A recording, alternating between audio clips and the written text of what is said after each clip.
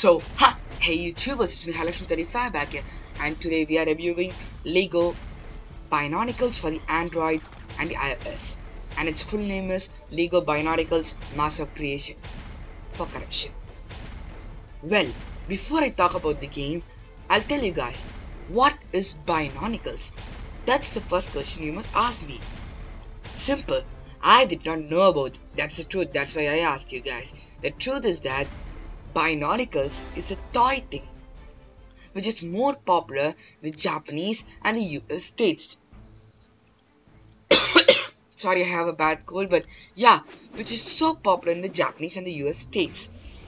Well, there are a lot of games if you guys have no idea about it, which even included me for some time. And I seriously had no idea that so many games were available for the LEGO Bionicles series and Lego took up the job. Well, you guys can ask me what's different compared to the other idiotic games which are available on Earth. Well, this Lego game does not even look like one because the characters look more or less like a realistic, simple yet futuristic characters who seem to addict my eyes like hell. So, Saying apart, Hari, you told me that oh, it's just the Bionicles guys who are all popular in the US and everything. Then what about the game? Is this game different from everything? Does it have a big storyline? Does it sound good? Is the gameplay good? Is it worth my 300 MB of download? And does it has in-app purchases, advertising, blah blah blah? I'll answer each and every one of your questions. The truth is that this game is an a prototype. That is not mentioned by the company. This game is on a prototype they did say that up to 74 levels available well all of us played it. I played it touch gameplay played it and many others played it but we were only able to finish 36 levels in overall. So we did realize that this was in a development mode. And when you ask me about the story there is no particular story. Lego may have a story but I'm sorry guys these idiots don't. And cutscenes are they even cutscenes?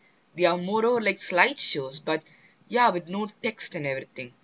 And I felt a lot of things invariable in this game. Well, the characters too damn big and the well the villains are like insects. They are insects, but yeah, seriously, it makes me more superior to you guys.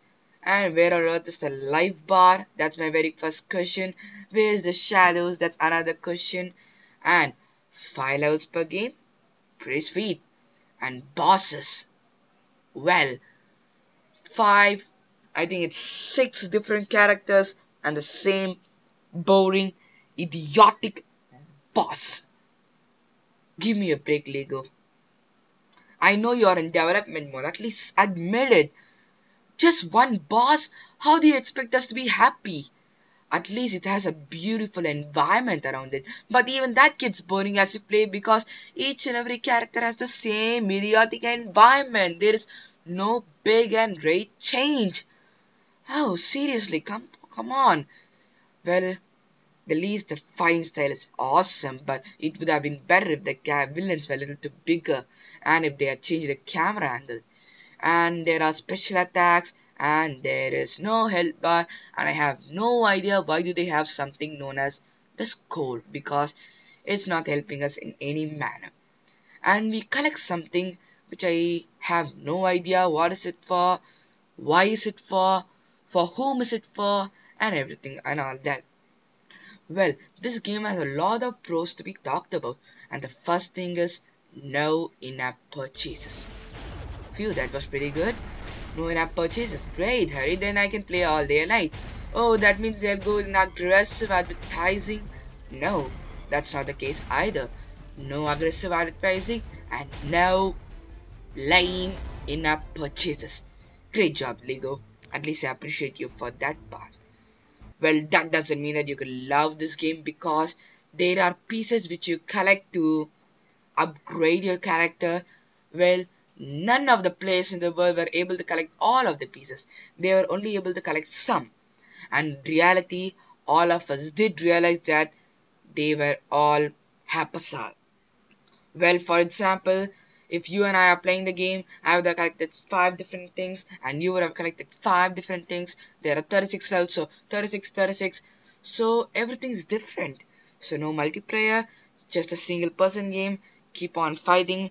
Same type of environments for each and every guy. It may look beautiful initially. It may sponge your eyes. It may make you like, I want to play this game again and again. I want to love it. I love it. I love it.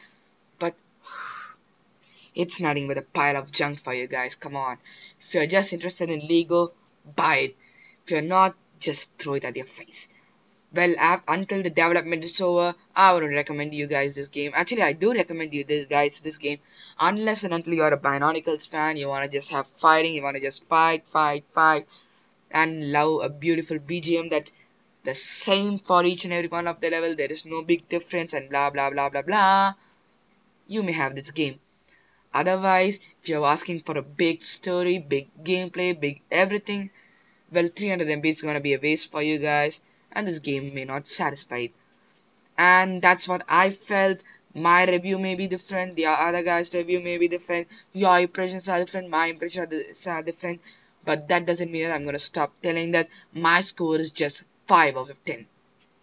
This game is beautiful in its gameplay. This game has a great BGM. This game has a good sound. This game has a good move set. This game has good characters. But everything is more or less the same except for the characters. So that's pretty much it for my review guys. Like this video, video of this like if you like it. Dislike it if you feel that this video sucked. Leave a comment below and do something. And don't forget to subscribe to my channel because I'm your source for gaming in Android and technology. Peace.